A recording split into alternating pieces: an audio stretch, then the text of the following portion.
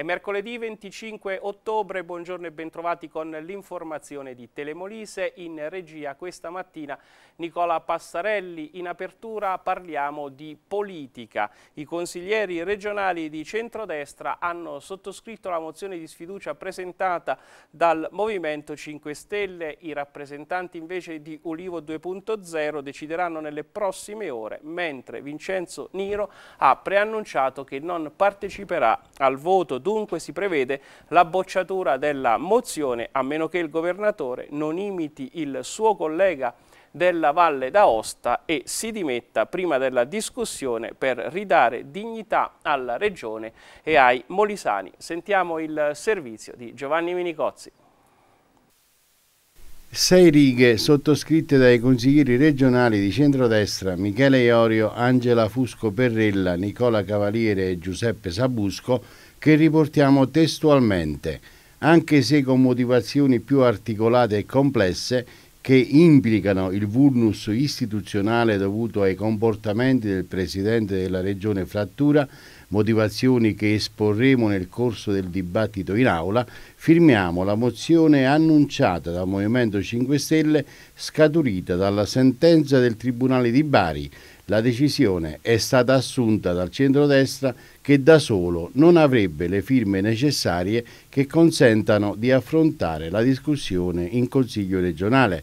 Fin qui la nota inviata alla stampa dai quattro consiglieri regionali che insieme a Patrizia Manzo e Antonio Federico raggiungono e superano il numero di cinque previsto dallo Statuto per presentare una mozione di sfiducia Inoltre, con la possibile adesione dei quattro consiglieri di centrosinistra che da tempo hanno mollato frattura, complessivamente potrebbero essere in dieci a votare la sfiducia e con la prevedibile astensione del governatore il risultato finale sarebbe di parità 10 a 10, ma la mozione non passerebbe, tranne il caso al momento imprevedibile che almeno un consigliere di maggioranza decidesse di cambiare posizione.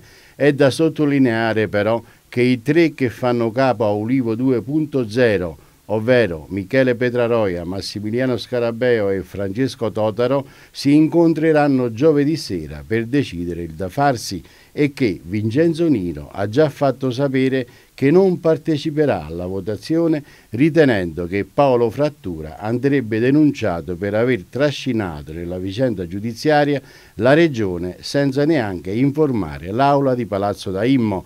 Infatti, nella seduta del 21 dicembre 2015, la Giunta regionale, con delibera numero 713, decideva di far costituire la Regione parte civile nel procedimento penale di Bari, alla luce dell'esito finale del processo si è trattato sicuramente di una scelta scellerata anche per le conseguenze economiche e morali rimbalzate sul Consiglio regionale e sui molisani, una scelta che da sola però giustificherebbe un voto di sfiducia all'operato di Paolo Frattura. Al momento invece si può solo prevedere una animata discussione in aula e la bocciatura della mozione a meno che con uno scatto di orgoglio il governatore decidesse di anticipare tutti e dimettersi imitando il suo collega della Valle d'Aosta che, per fatti similari ai suoi, si è dimesso il giorno prima della mozione di sfiducia. Se così fosse, sarebbe un miracolo che darebbe dignità a se stesso e al Molise intero, ma di miracoli in questi cinque anni non ne abbiamo visto nemmeno uno aree interne e spopolamento, fuga per il lavoro. E questo è il titolo della puntata odierna di Millibar in onda questa sera alle ore 21. Alla luce di un rapporto realizzato dalla Caritas diocesana di Trivento si parlerà del fenomeno di migrazione che ha portato migliaia di persone a spostarsi dalle aree interne verso le grandi città in cerca di lavoro. Ospiti in studio Franco Spina, segretario regionale organizzativo della CGI CGL, Cloridano Bellocchio, direttore del GAL Trigno Castellelce e l'opinionista Antonio D'Ambrosio, la replica di Millibar venerdì alle ore 16 sempre su Telemolise. Il tartufo bianco, pregiato da sempre, è una delle eccellenze della tavola più desiderate ed apprezzate in questo avvio di stagione, anche piuttosto raro a causa delle condizioni climatiche degli ultimi mesi. E fa notizia intanto un tartufo di quasi 470 grammi che è stato raccolto vicino a Campobasso. Ascoltiamo Giuseppe Carriera. La stagione estiva particolarmente torrida e siccitosa e il caldo che ha caratterizzato l'inizio di ottobre non facilitano la crescita del tartufo bianco pregiato che in questo avvio di stagione si presenta quindi ancora più raro e prezioso del solito e fa dunque notizia la cavatura di un pezzo da circa 470 grammi vicino a Campobasso. Sicuramente un settore agricolo compromesso o quantomeno condizionato da un, un'estate torrida ha, ha uh, condizionato anche quella che è l'inizio di questa raccolta al tartufo bianco. Uh, in, in, Molise abbiamo comunque storicamente sempre dei tartufi in, importanti e per quantità e per qualità dal mese di novembre uh, e tutto dicembre. Sicuramente un tartufo di 470 grammi trovato qui in eh, Molise fa parlare. Vittorio Palombo, presidente di Feder Tartufi Molise, nel presentare quello che al momento è un record stagionale per il Molise, è fiducioso sulla evoluzione della stagione siamo ancora in tempo, dice, per avere sulle tavole a Natale tartufo bianco pregiato in quantità e qualità ormai richieste dal mercato che riconosce nel prodotto molisano un indice d'eccellenza. Sicuramente il Molise è terra di tartufi, il tartufo rappresenta un volano economico molto importante per, per il Molise, i prezzi come è ovvio non sono abbordabilissimi ma eh, ne vale sicuramente la pena. Bene, per l'informazione è tutto, passiamo adesso alla rassegna stampa.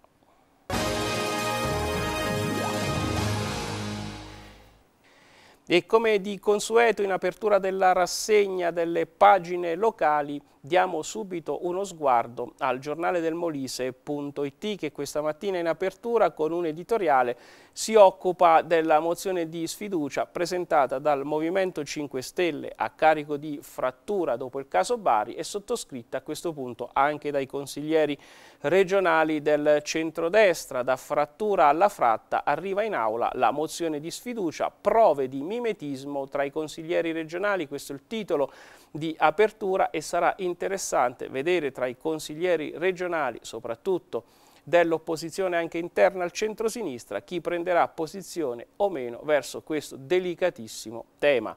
Andiamo a vedere le altre notizie in evidenza un'intervista di Michele Iorio data al, al, mensile Il Bene Comune, dice Iorio, primo liberare il Molise da frattura e da questo centro-sinistra, associazione centro-storico, bene la differenziata ma il servizio va corretto.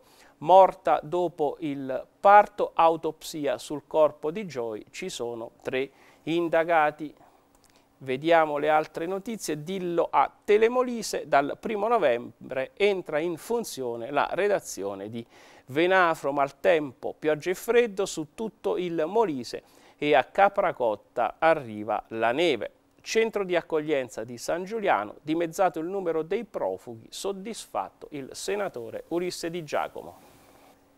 Passiamo alla prima pagina di primo piano Molise. Frana di Pietracatella, 25 milioni e tempi certi, questo è il titolo di apertura. Il presidente dell'ANAS ha illustrato la roadmap, un anno per le pratiche e 30 mesi per realizzare il nuovo tracciato.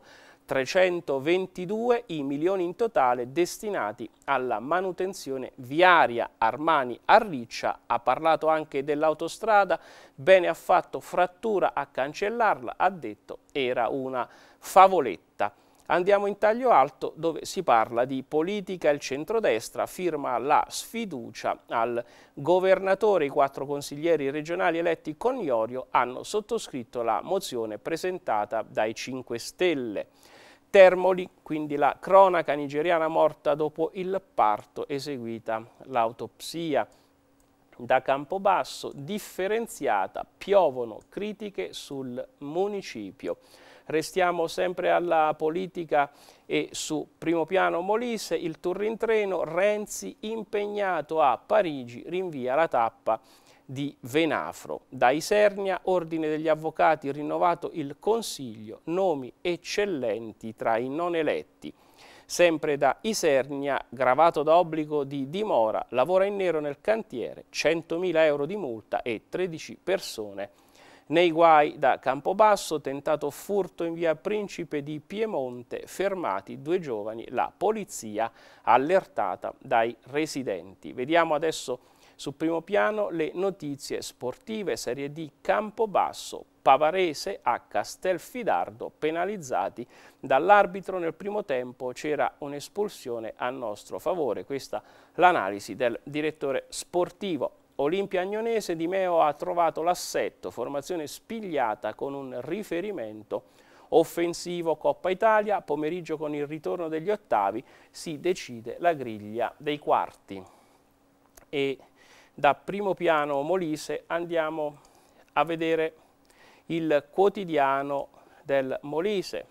Frana, Fondovalle, Tappino, l'ANAS dice presto la variante, anche eh, il quotidiano apre su questa vicenda a riccia gettate le basi per una soluzione che prevede un intervento di 25 milioni, studio di fattibilità entro l'anno. Andiamo in taglio alto sulla prima pagina del quotidiano del Molise da Campobasso contro i piromani.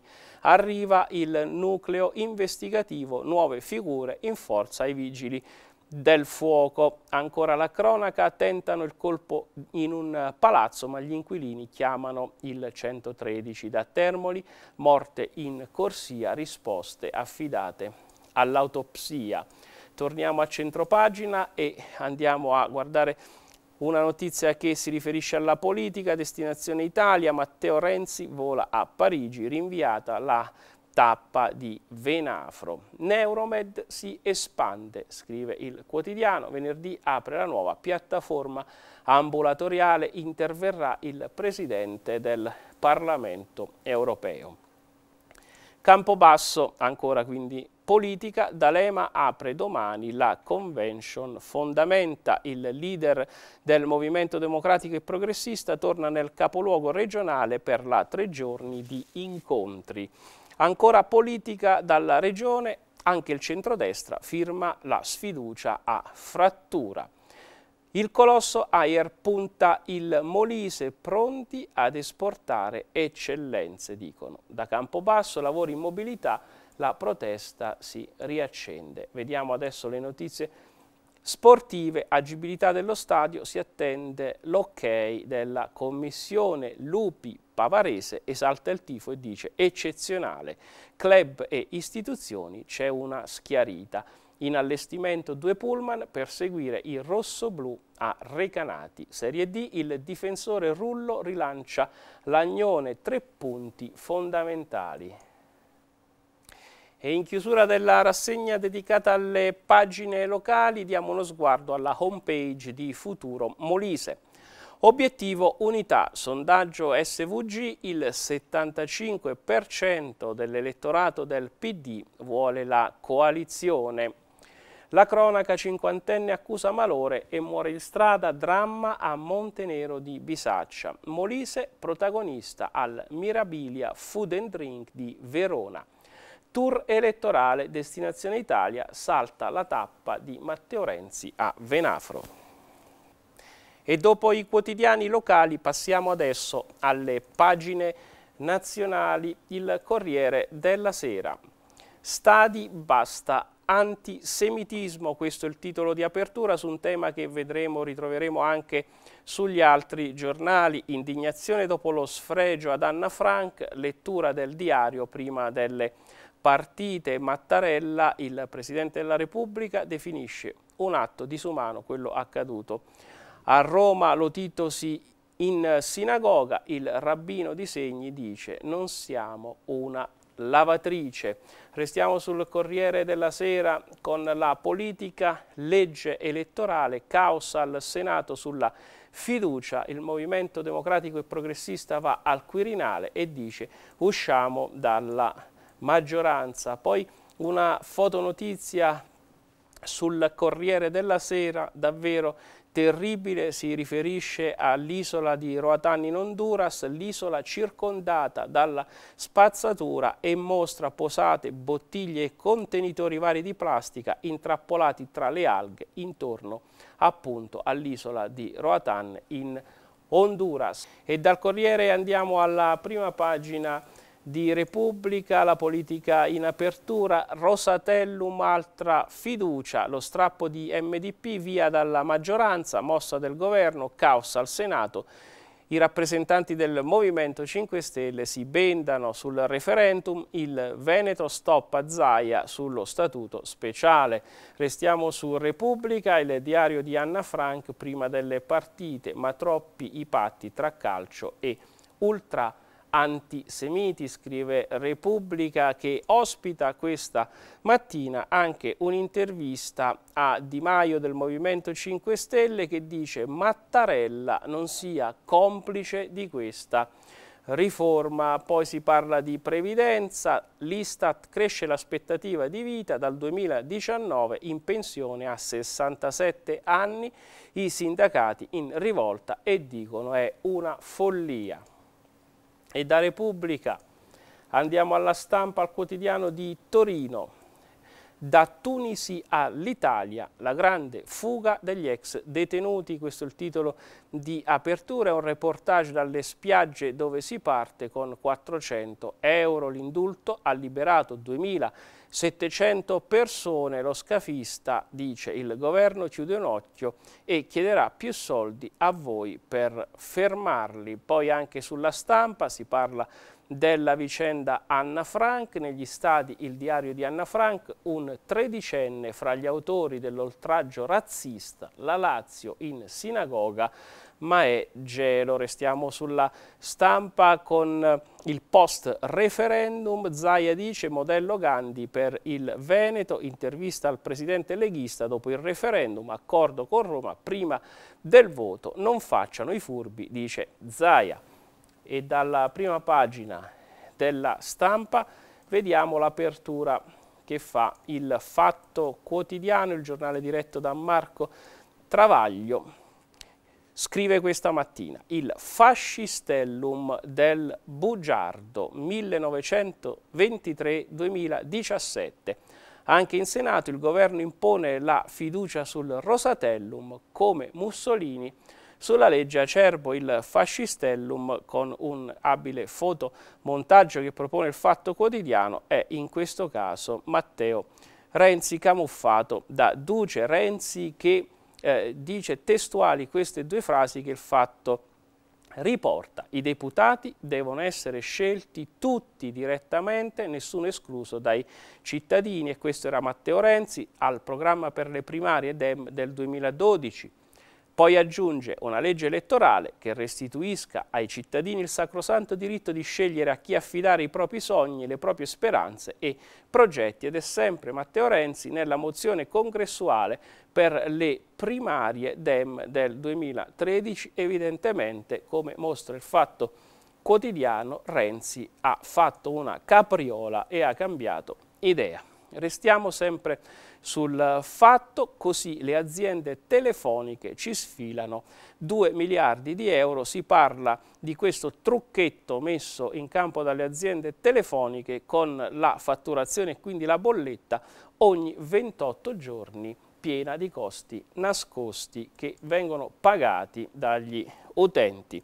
Andiamo al quotidiano romano Il Messaggero pensione a 67 anni, ecco la platea, questo è il titolo di apertura. L'Istat fissa dal 2019 l'aumento dell'età previdenziale per l'allungamento dell'aspettativa di vita. In 80.000 dovranno rinviare l'uscita, l'Inps dice fermare gli scatti costerebbe 141 miliardi dal 2040. Restiamo sul Messaggero, il calcio con la maglia di Anna Frank, Lotito in sinagoga, gelo della comunità ebraica. Referendum, il governo frena Zaia su queste richieste, non si può trattare no al diktat del Veneto, ok alla Lombardia, Gentilone apre, vediamo a quali condizioni. E dopo il messaggero andiamo sulla prima pagina di Libero, il quotidiano diretto da Vittorio Feltri. Non è più tempo per Magnoni, questo il titolo di apertura, i mantenuti romani pretendono i nostri soldi, la sinistra schiera i suoi governatori delle regioni a statuto speciale contro Lombardia e Veneto. L'autonomia non è per tutti, non potete tenervi le tasse, dicono, ma Zaia e Maroni rilanciano federalismo fiscale e libertà su 23 materie. Propone Libero invece a centropagina una fotonotizia con questo titolo Battisti è comunista, perciò resta libero tutto come avevamo previsto e si vede questo bandito criminale in fuga da decenni nell'atto di ballare allegramente nel suo soggiorno brasiliano. E dopo libero andiamo all'informazione economica con il Sole 24 ore. In pensione cinque mesi più tardi, questo è il titolo di apertura, l'Istat aumenta l'aspettativa di vita, la vecchiaia sale a 67 anni. L'adeguamento previdenziale, scrive il Sole 24 Ore, scatterà dal 2019. I sindacati contrari chiedono il blocco degli automatismi. Poi si ritorna sul Sole sulla vicenda Banca Italia, scrivono si rafforza Visco, entro domani la lettera di Gentiloni a Palazzo Koch. Andiamo sulla prima pagina della Verità, le tasse del nord sono del nord, così titola in apertura questa mattina il quotidiano diretto da Maurizio Belpietro che poi aggiunge basta balle, rispettate la Costituzione, dire come fa il PD che Veneto e Lombardia non possono trattenere i loro soldi è una bugia. Nella carta infatti sono previsti i trasferimenti dallo Stato centrale alle regioni per le varie competenze ed è lì che si gioca la vera partita.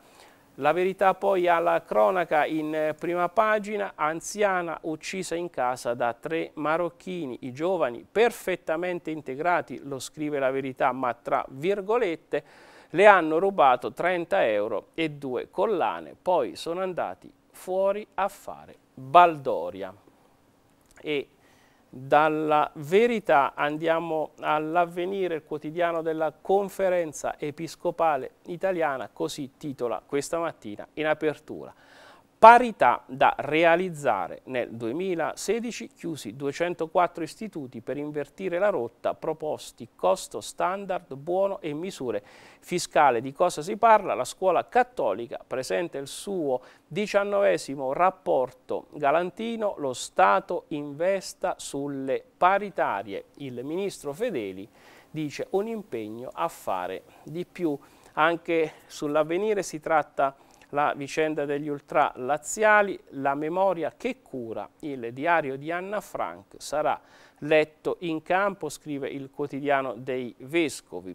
Poi si parla dell'età pensionabile che aumenta, aumenta l'età media, in pensione più tardi. L'aspettativa di vita arriva a 82,8 anni, la fine del lavoro salirà a 67 e dopo l'avvenire andiamo al quotidiano Campano il mattino.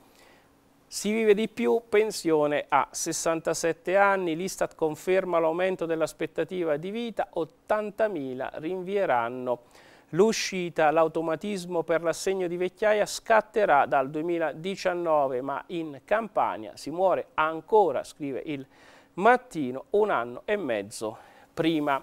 Restiamo sul quotidiano Campano, il libro di Anna Frank, letto negli stadi contro l'antisemitismo. Mattarella dice è una vergogna, Lotito invece, il presidente della Lazio, va in sinagoga.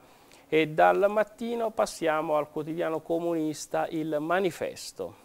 Dissennato, questo il titolo di apertura riferito alla nuova legge elettorale salvato dalla rottamazione renziana, ieri il Senato è stato cancellato dalla scelta dissennata del governo di mettere la camicia di forza alla legge elettorale con cinque fiducie, proteste della sinistra e dei 5 Stelle dentro e fuori dall'aula, scrive il manifesto che si occupa anch'esso questa mattina della vicenda pensione, in pensione a 67 anni, unici in Europa e poi chiosa il manifesto successi di governo evidentemente con una sottile ironia. E dal quotidiano comunista andiamo a quello della destra, il secolo d'Italia, Italia umiliata, questo è il titolo di apertura sotto una foto del criminale Cesare Battisti bellamente in vacanza in Brasile dove resterà. Le notizie in primo piano, il Sud non abbia paura di me, Salvini parla ai meridionali. La Boschi contro Di Maio, scrive il secolo, Gigino evita il confronto. E dopo il secolo passiamo all'altro quotidiano della capitale, il Tempo.